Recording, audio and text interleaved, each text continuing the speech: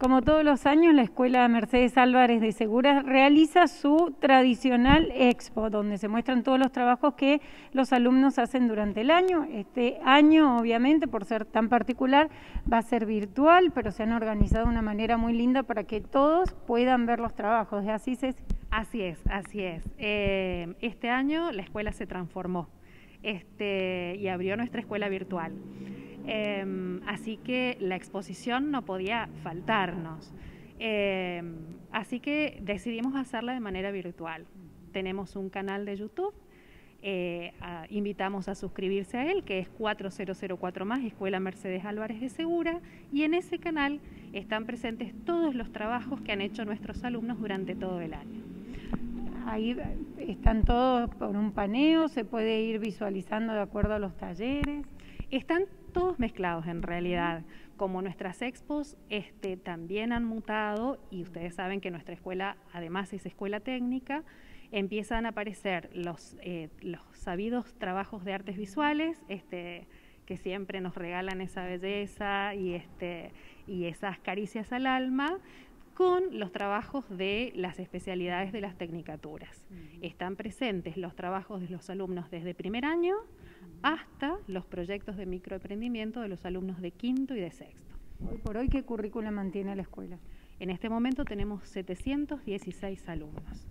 Y por suerte, durante este año que nos hemos volcado a la virtualidad, los 716 alumnos han estado conectados en todo momento. ¿Cómo ha sido? ¿Ha sido difícil seguir, tratar de, coordinar a través bueno, de arte, de, las distintas, ¿no? de los distintos talleres, que los chicos se motiven y sigan haciendo las cosas desde sus casas? Y al principio costó un poco eh, pensar la materia, pero después nos dimos cuenta que eran imprescindibles, más que nada las de artes visuales. Eh, así que bueno, los chicos era su momento, su relax, donde podían expresar sus sentimientos, sus emociones y verdaderamente no se lo pierdan porque han logrado unos trabajos impecables. Eh, han trabajado muchísimo, hemos eh, transformado las materias, pero han seguido eh, teniendo todo su contenido. Y con respecto a las tecnicaturas, han hecho una revista virtual, la gente de alimentación, donde está completo toda la, la pasantía de las alumnas. Así que es mucho lo que hay para ver. Más de 200 videos y trabajos eh, donde los alumnos han mostrado todo su proceso y sus logros. Un año difícil, particular, decíamos, bueno, en la educación sobre todo que hubo que barajar y dar de nuevo, pero bueno, por lo que me cuentan, un año que pone muchas expectativas para el que viene. Sí, la verdad que sí.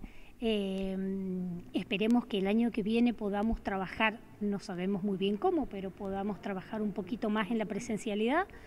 Eh, tampoco sabemos exactamente cómo vamos a arrancar, pero bueno, la idea, la idea es que todos de alguna manera podamos seguir vinculados, un poco presencial y un poco virtual, y, veremos qué pasa. La verdad que tampoco sabemos muy bien. Más que contentos con este cierre, este broche de oro que, que están haciendo ahora, ¿no? Con la expo virtual. La expo yo creo que va a ser un éxito porque tiene un formato totalmente diferente.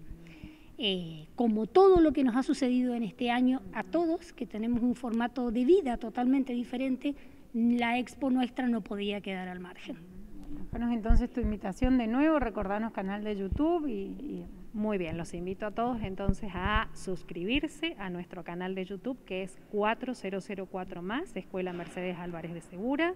También tenemos nuestro Instagram que es exactamente igual, 4004 más.